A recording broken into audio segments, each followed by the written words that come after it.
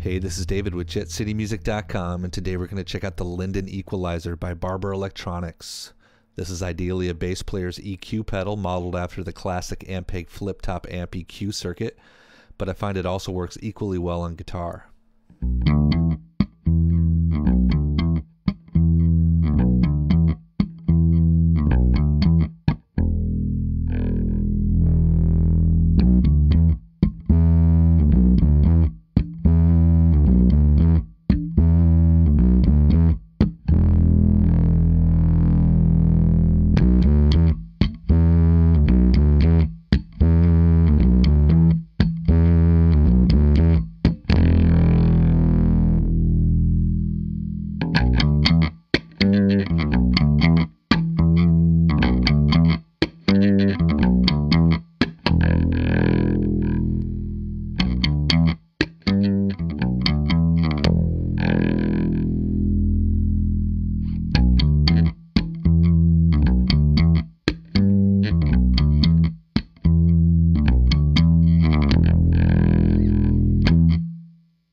I'm playing the Fender P bass special through a Fender Princeton reverb with an additional 112 cab. I've got the reverb off.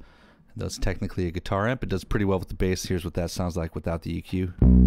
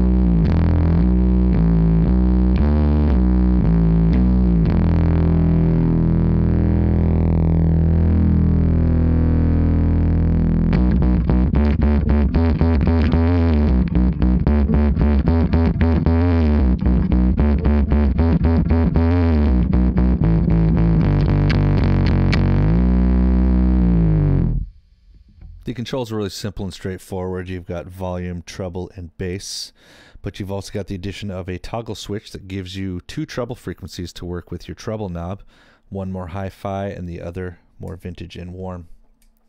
And you've also got a push-pull switch on the bass knob, which when pulled up adds deeper unfiltered lows. Though you heard some guitar through it for the intro part, I'm going to play a little bit more just to show you how cool I think it is on the guitar as well.